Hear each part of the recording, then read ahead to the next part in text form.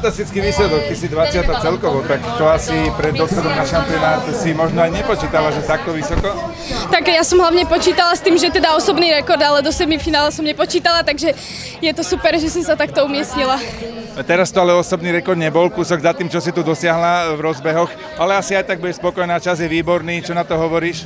Určite je to dobrá skúsenosť, aj čas síce nebol podľa predstav, ale záleží na tom, že to bola super skúsenosť túto pretekať hlavne u nás.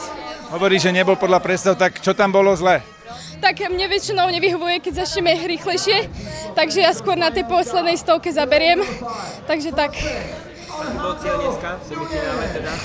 Tak zabehnúť si ten osobný rekord, ale keďže to nešlo podľa predstav kvôli tomu, že sme začali rýchlejšie, takže som aj za to rada, že som tu mohla byť.